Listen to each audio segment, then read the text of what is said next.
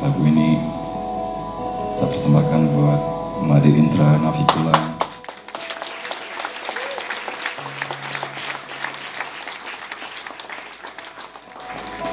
dan tentunya buat kawan yang saya hormati Arai Daulay